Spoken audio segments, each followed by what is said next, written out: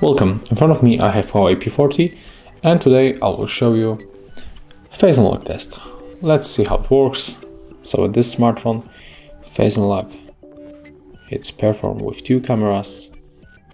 Let's make the test.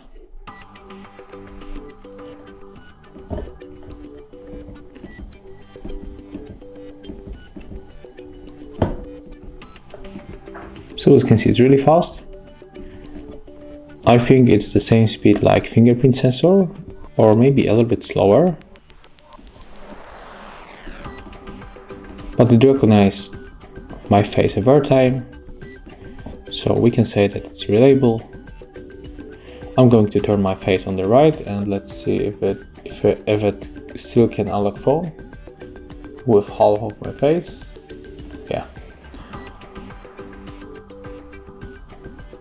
Okay, so not at all. Nah, when I go for like, when I twist my head for like 25 degrees on the left, it can recognize. When I go more for like 40, it just can cannot uh, recognize the face.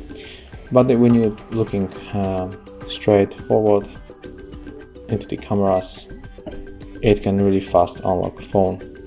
So that's all.